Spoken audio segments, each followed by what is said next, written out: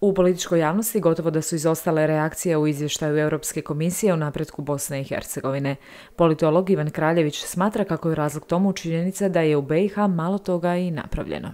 Dakle, nekako je po strani završilo ovo izvješće, jer su očigledno svi svjesni da je vrlo malo urađeno u proteklih godinu i pol. E, poglavito ako je riječ o onih 14 prioriteta Europske komisije koji su stavljani pred e, vladajuće u Bosni i Hercegovini, Među malo onih koji su komentirali izvještaj Europske komisije našao se Željko Komšić koji je kazao kako izvještaj pokazuje da HDZ blokira europski put BiH.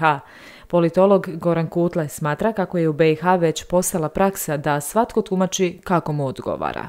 On naravno pokušava te ideje nametnuti kao da je on neki vrlo bitan politički faktor, a vidjeli smo više navrata na vanjsko-političkom planu da je on e, dobio čistu jedinicu, dakle da nije Eh, nikakve dobre, dobrosusjedske odnose uspostavio da nema nekih eh, uspjeha eh, u diplomatskom pogledu.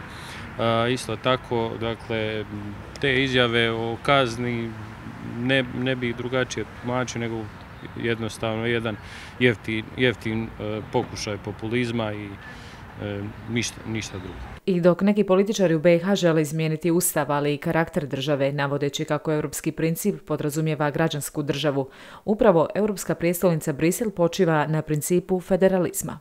Kad je riječ o konstitutivnosti naroda, e, mislim da E, konstitutivnost naroda u Bosni i Hercegovini je realnost i od toga treba krenuti e, i mislim da o tome svjedoče i posljednje izjave e, specijalnog predstavnika EU u BiH Johana Zatlera koji je rekao dakle, da će konstitutivni narod imati u budućnosti i tekako veliku važnost u Bosni i Hercegovini. Stoga Komšićeve neke ideje ne, ne mogu imati neko veliko uporište. Ono na čemu BiH treba poraditi u idućem razdoblju je reforma i jačanje vladavine prava i suzbijanja korupcije, dva uvjeta od kojih sve mora krenuti.